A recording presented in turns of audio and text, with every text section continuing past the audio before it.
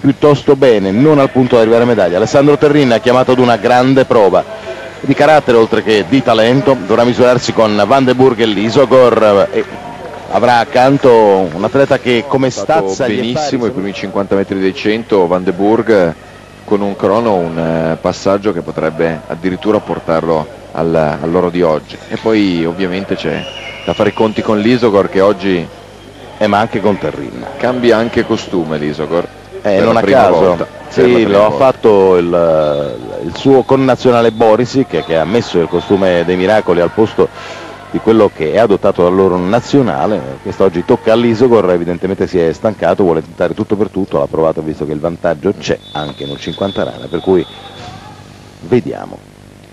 Terrin è in mattinata in batteria una brutta virata, in finale un brutto arrivo, oggi non deve sbagliare ovviamente nulla. Resta un po' sul blocco ma questo potrebbe non essere grave, a Buonina l'uscita, Bonina meglio di lui sotto, eh, l'Isogor ma non solo, vediamo un po'. Ua.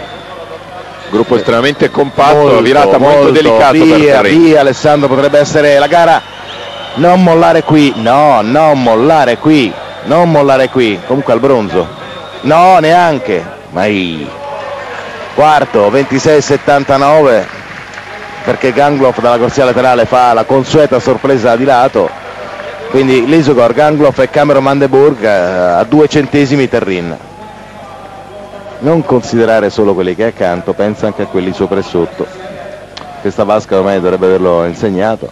Gangloff è scappato molto bene in eh, uscita di virata e Alessandro eh, non credo eh, non l'abbia visto, no- non cambia nulla in un 50, non, non c'è differenza, però sicuro avere di fianco degli avversari leggermente davanti può aver prima però tant'è, insomma, eh, dispiace moltissimo perché a 13, scusami, 12 centesimi c'era la medaglia di bronzo e in una gara di questo